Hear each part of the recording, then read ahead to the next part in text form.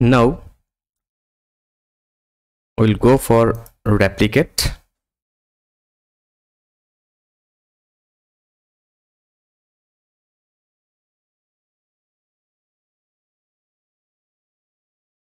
So to replicate simply select all of that member and here also available or press ctrl r or go here edit and click replicate.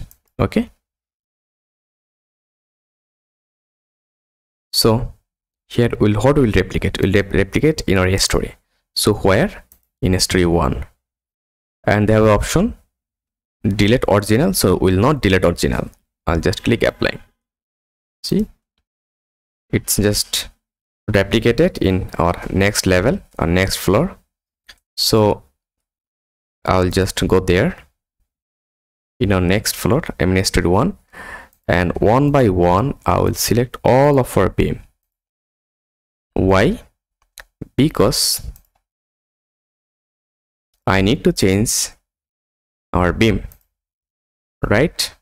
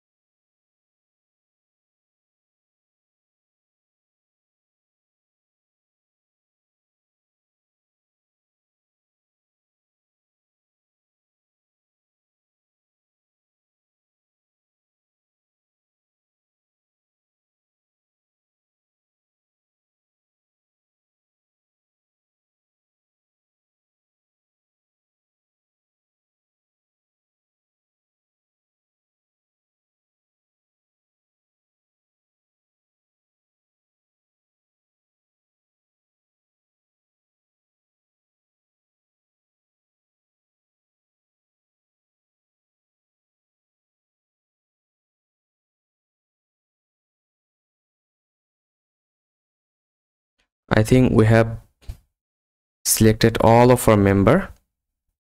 Okay now I'll just go here assign then frame then section properties. From here we'll select beam 12 into 22 then press apply.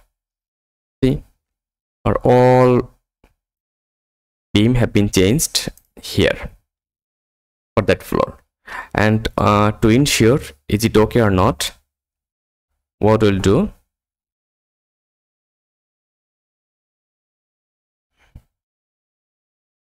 I'll go here select then go select and then go properties then frame section and beyond then click select. So if you go here hide selected object and if you see any sorry see here we have done a mistake. Here uh, two beam is, is still grade beam. We didn't select or we didn't change it. So that's why i have checked is it okay or not? So what we'll do i'll simply select it and select it and go assign then frame section properties beam and then apply then okay. Right click show all object. That's it. Done. So perfectly we have done. And um, i mean uh, perfectly we have changed our model and we have done everything. So if i click here save.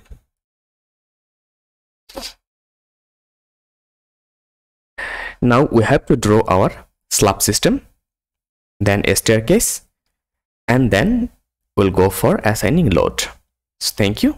Thank you very much